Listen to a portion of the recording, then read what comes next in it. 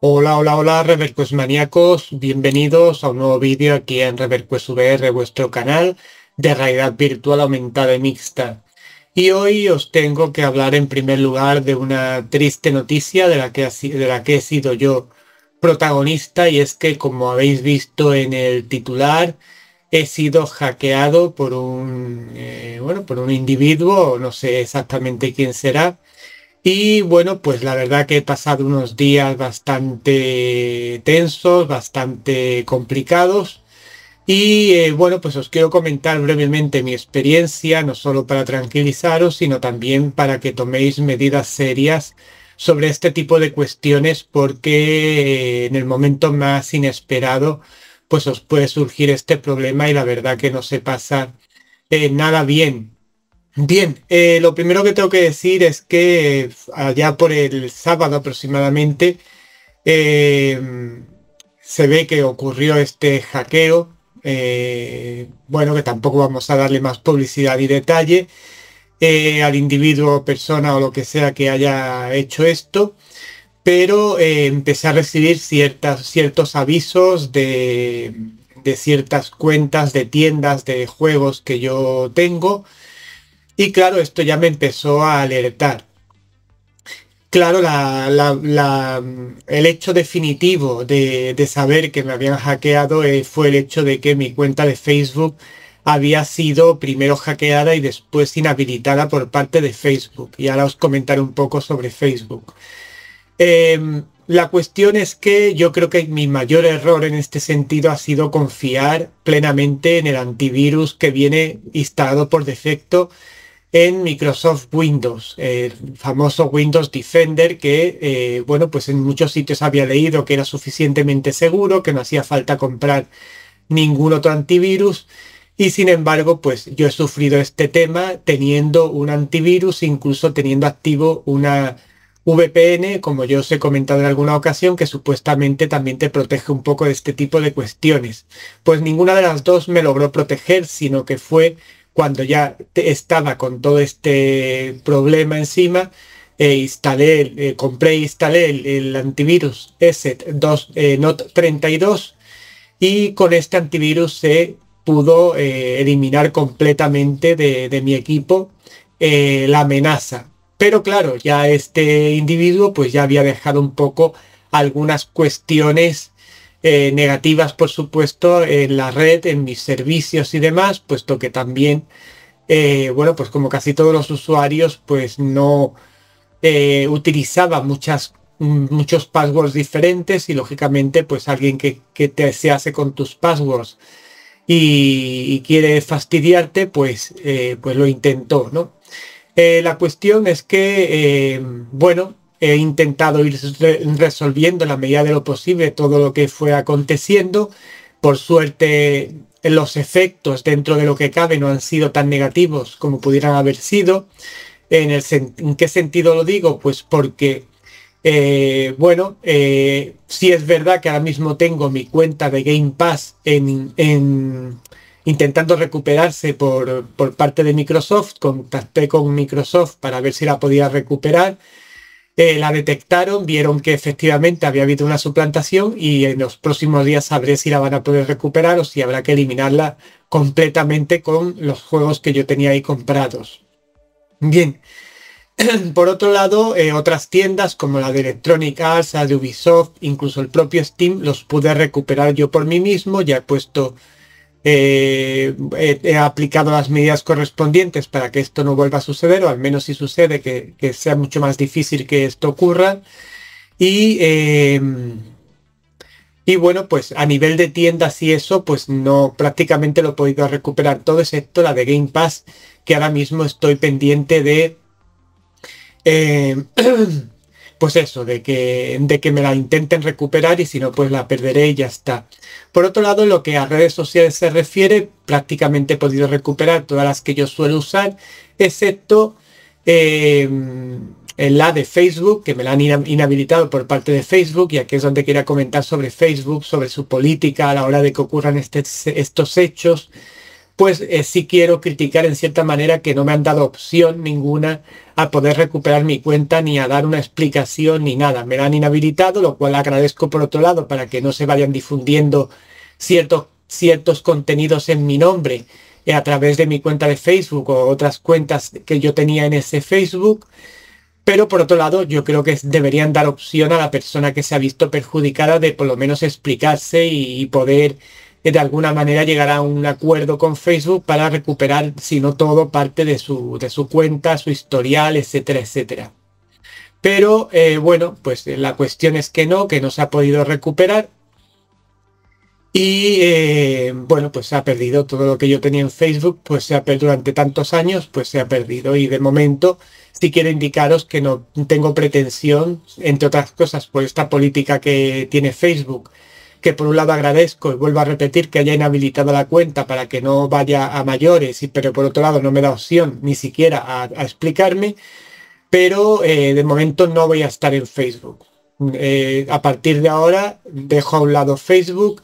Eh, no sé si en un futuro haré una cuenta personal simplemente, pero no voy a tener ninguna página en Facebook ni voy a tener absolutamente nada. ¿De acuerdo? Mis otras redes sociales, eh, pues prácticamente no se han visto afectadas, ni en Twitter, ni en Instagram y demás, que las he podido, eh, bueno, aplicar las medidas de seguridad correspondientes sin mayor problema.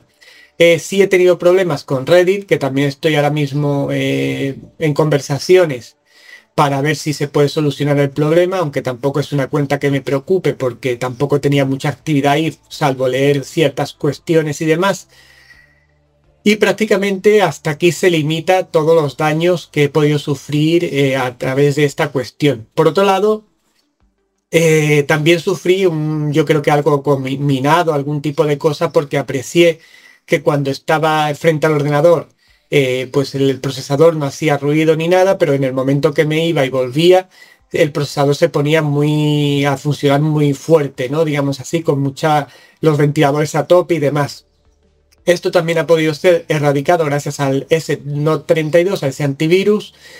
Pero eh, bueno, pues durante un tiempo pues tuve esa cosa de que, bueno, pues no sabía por qué era eso y demás y al final deduje que podía ser este tipo de cosas y con el antivirus lo he podido solucionar. Por suerte no, es, no se me han visto afectadas cuentas bancarias ni se me ha visto afectado ningún otro servicio ni cuestión que yo tuviera. En todo caso he aplicado a nivel general eh, todas las eh,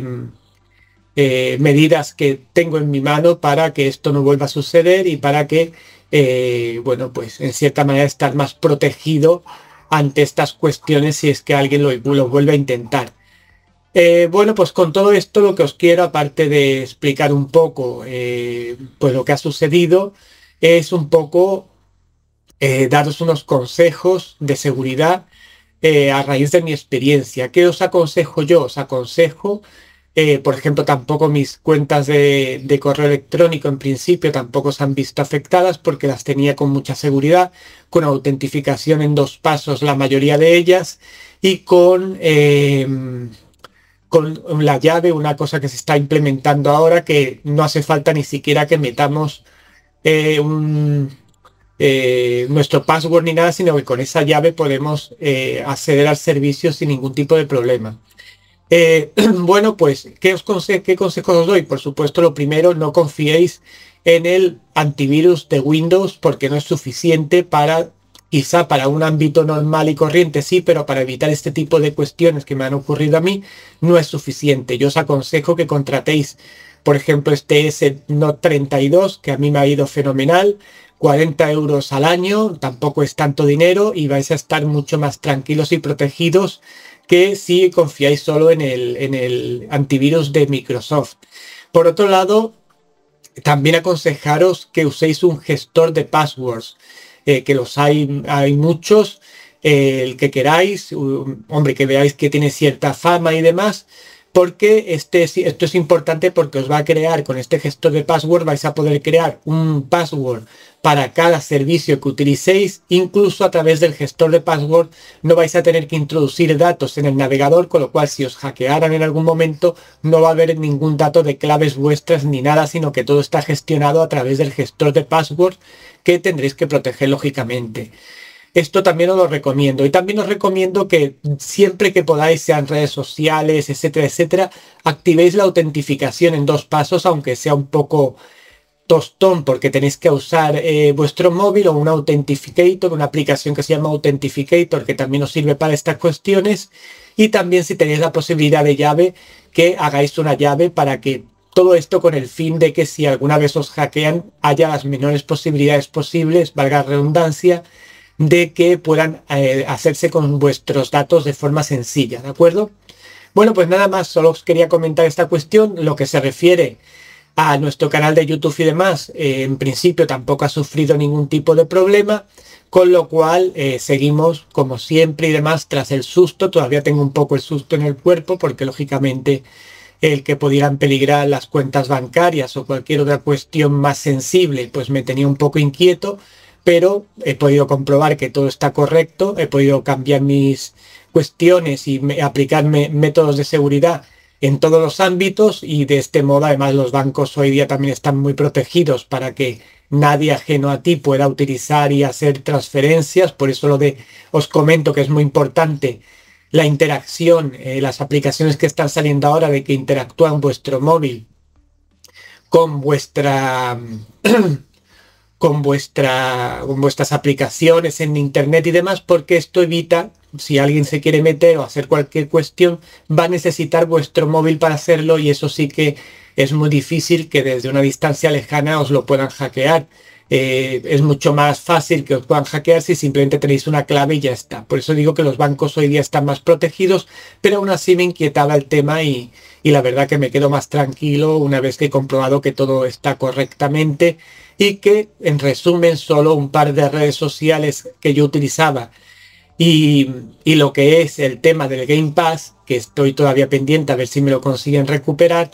ha sido lo único que en principio, al menos que yo haya podido rastrear de las aplicaciones y demás que uso habitualmente, eh, haya podido eh,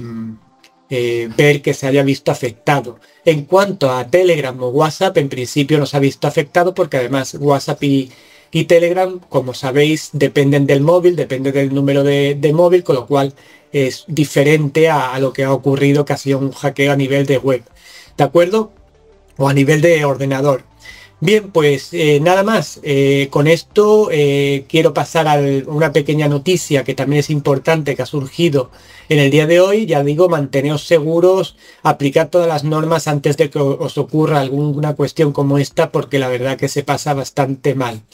Bien, en cuanto a la noticia que os quería comentar el día de hoy, con la que vamos a cerrar el vídeo, disculpad si he dedicado la mayoría del vídeo a esta cuestión, pero me parece importante ya que por desgracia he sufrido esta experiencia, que todos podamos aprender de ella y también que estéis tranquilos de que lo, que son los canales propios de ReverQuest VR pues están seguros y no hay ninguna cuestión que tengáis que temer en principio. Bien,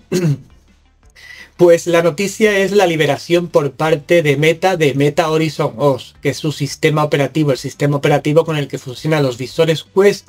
y que eh, en el día de ayer Mark Zuckerberg anunció que se liberaba para que pueda ser usado este sistema operativo por eh, otras compañías, como ya se han sumado algunas como Lenovo o la propia Asus para crear visores VR o AR o XR que implementen este sistema operativo creado por Meta. Eh, bueno, pues aquí una nueva prueba de esa guerra que se va a abrir dentro de muy poco entre distintas compañías. Tenemos el Vision OS de Apple, tenemos Android XR de, lo que es Google y ahora tenemos Meta Horizon OS que se hace abierto para que cualquier visor o cualquier compañía que quiera utilizarlo como base para sus eh, visores VR y demás, pues pueda utilizarlo. Una gran noticia, una noticia bastante importante, aunque se haya visto un poco ensombrecida por lo que os he comentado al principio del vídeo. Y por otro lado, lo más importante quizá de esta noticia es la eh, alianza anunciada por Mark Zuckerberg entre Meta y Xbox, ojo, para crear, eh, bueno, no se ha dicho exactamente el qué, pero se, intuye que un eh, visor VR, RXR, el cual estaría hecho, digamos así, a imagen y semejanza de la propia Xbox. Digamos así que sería el visor que todos estábamos esperando de Xbox, pero que iría eh, en colaboración con Meta, lo cual también es una gran noticia después de que surgió el tema de la Xbox Cloud, que ya podíamos jugar en visores Quest, pues será un paso más adelante entre esta colaboración entre Microsoft y lo que es Meta y podemos, puede ser que tengamos muy pronto, eh, el año que viene o quizá a final de año, etcétera, un visor de Xbox y esto abriría las puertas a que Microsoft se entrara de lleno en el mundo de la VR. Bien, pues esta es la noticia que os puedo comentar en el día de hoy. No quiero tampoco dar más, eh, más rodeos con este tema porque la noticia es suficientemente importante. La podemos comentar tanto lo que me ha ocurrido a nivel de, usuario, que ya os he comentado al principio, ese hackeo triste que me han, me han realizado. Y el tema de este metaos y, bueno, pues nada, eh, desearos lo mejor, desearos que no tengáis que pasar nunca por este trance. Sí, eh, comentar que, bueno, podía haber sido muchísimo peor y gracias a Dios, pues tampoco ha tenido grandes efectos negativos, ya que también he actuado yo muy rápido para intentar em, proteger cuantas más cuentas posibles de las que yo solía usar habitualmente y por tanto, pues no he podido ver que se haya afectado muchas cuestiones de las que yo uso habitualmente, pero aún así, bueno, pues es un mal trago, se pasa muy mal y de seguirme el consejo, protegeos antes de que ocurra una cosa de estas, porque ya digo, se pasa muy mal la incertidumbre de no saber si te han hecho tal, si te han hecho cual. Después uno va